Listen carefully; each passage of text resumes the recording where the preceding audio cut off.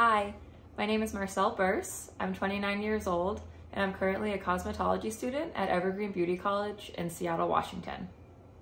My path to cosmetology was an unconventional one.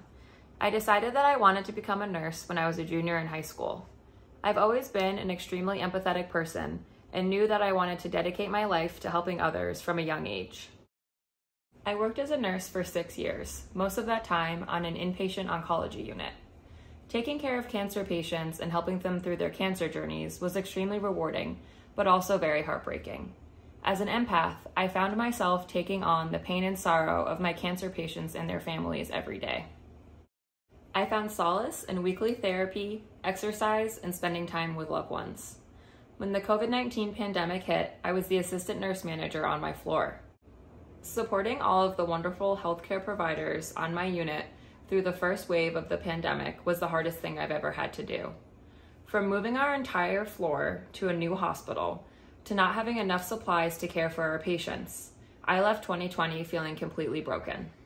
When my husband and I moved to Seattle in the summer of 2021, I took the opportunity to rethink my career. I knew I wanted to continue helping others, but not at the expense of my own mental health. That feeling is what led me to complete a three month long career coaching program where I was able to identify another profession that I had been called to my entire life hairdressing.